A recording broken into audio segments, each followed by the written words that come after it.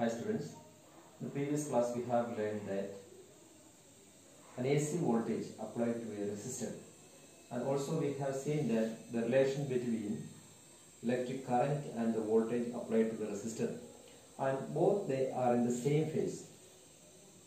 So when the electric current reaches the maximum and then the at the same time then the voltage also reaches the maximum. And we can represent this relation between voltage and AC current applied to the resistor by using a phasor diagram. And what do you mean by a phasor diagram? A phasor is a vector that rotates about its origin at an angular speed omega. Vertical components of voltage and I, V vectors V and I, represents the sinusoidally varying quantities of voltage and electric current.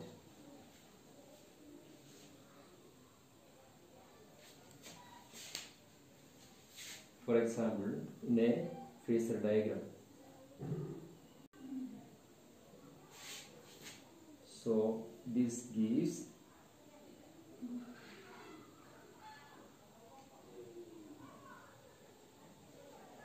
gives Vm sine omega t whereas this gives Im sine omega t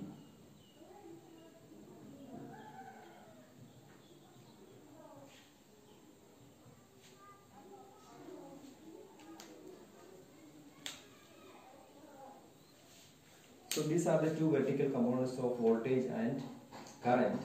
When both reaches the maximum, when voltage reaches the maximum, electric current also reaches the maximum. They are the same phase. So phasor is a this is for phasor diagram vector for the electric current and this is for electric current and the, this for the voltage.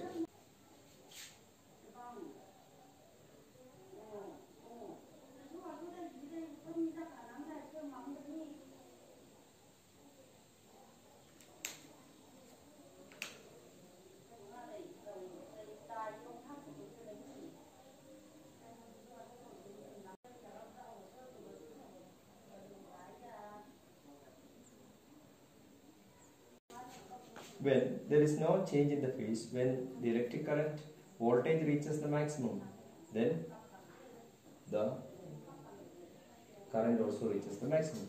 And this is how this phasor is rotating with an angular speed omega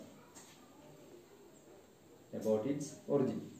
So this is how the phase changes for both of the parameters. And now we are going to discuss that AC voltage applied to an inductor.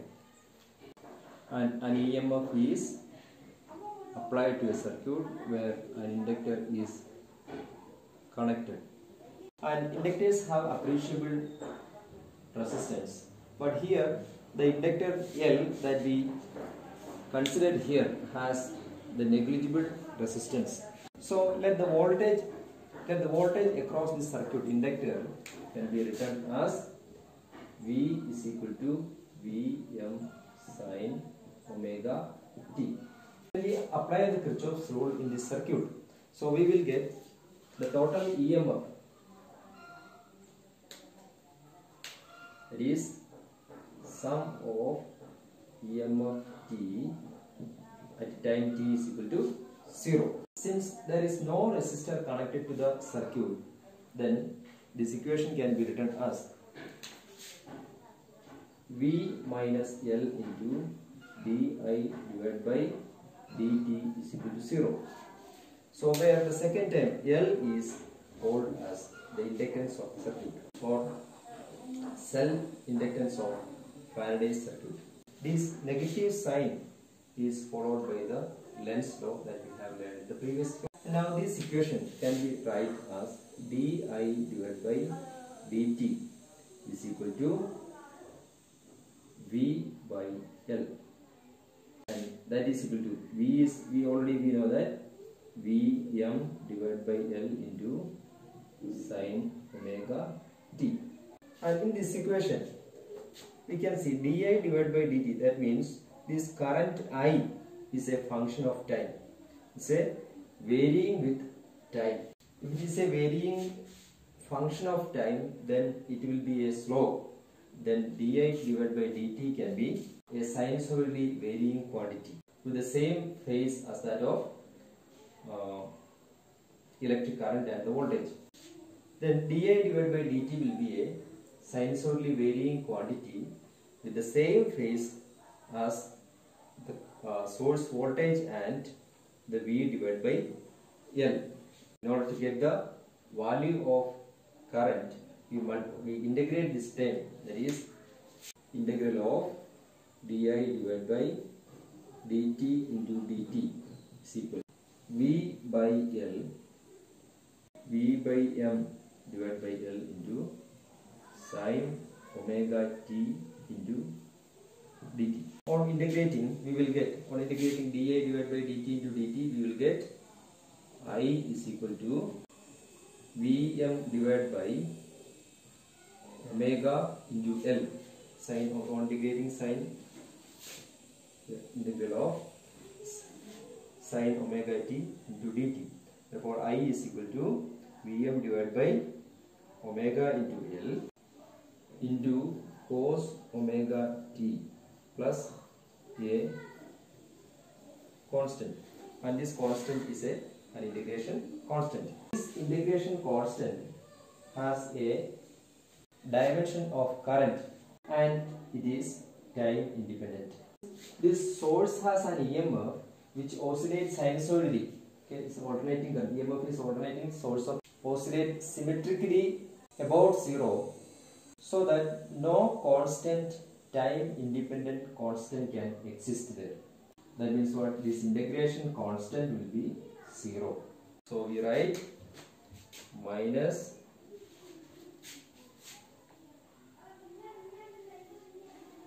minus cos omega t is equal to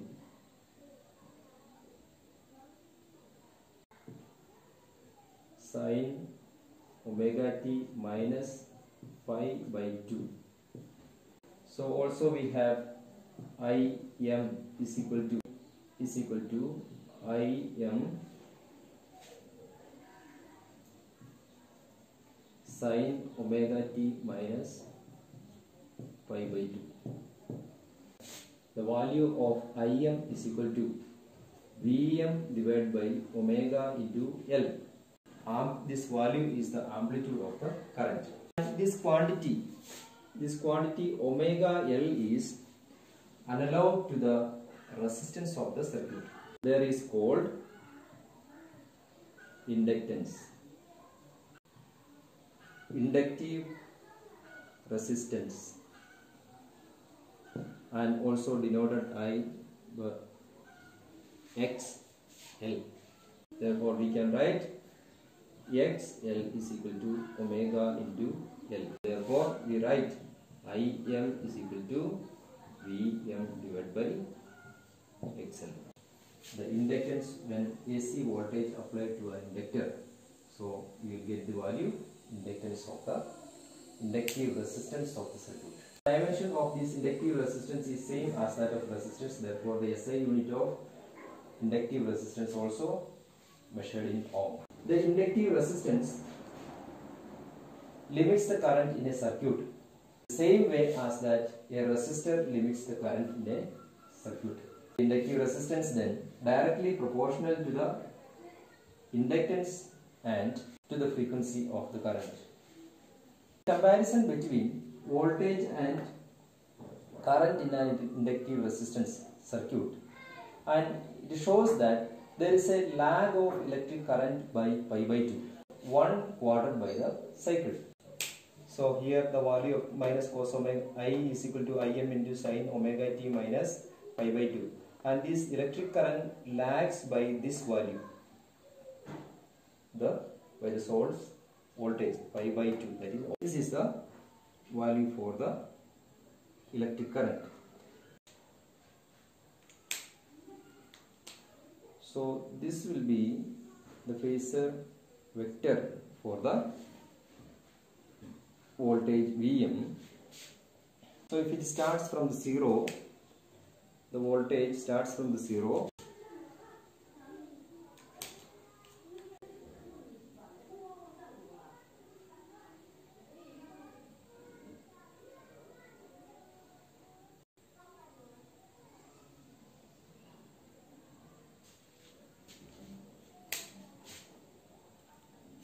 instant at t1 here.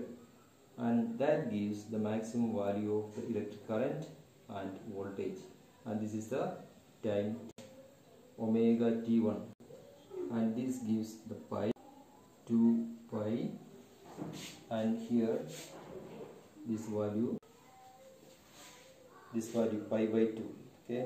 And when you take the same instant it starts from the zero and this current from the value of pi by 2 so it is delayed by pi by 2 then the voltage. The instantaneous power supplied, we have already seen that the electric current lags by pi by 2 than the source voltage and so that we can write as t by 4 minus pi by 2 divided by omega. We have already seen that the inductance limits the current flowing through the circuit same as that of resistance then the instantaneous power supplied to the circuit is instantaneous power Pm is equal to I into into Vm. I we can be written as I m sine omega t minus pi by 2 into Vm sine omega t.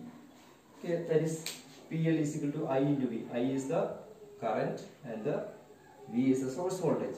I is equal to Im into sine omega t minus pi by 2 into Vm is equal to sine omega t minus of Im into Vm plus cos omega t into sine omega t. So cos omega t into sine omega t. You know that sine sine x into cos x is equal to half into 2 sine x sine 2x. Then so this we can be write as I m into Vm divided by 2 into sine 2 omega t. Average to get the average power P is equal to then P is equal to the average of minus I m into Vm divided by 2 into sine 2 omega t. And that is equal to this value I m into Vm divided by 2 into it will be the average of sine 2 omega t. Value is equal to 0 the average power over a complete cycle is equal to 0 the average of sine 2 omega t is equal to 0 then the average power over a complete cycle will be 0 in a inductive circuit the AC voltage applied to an inductor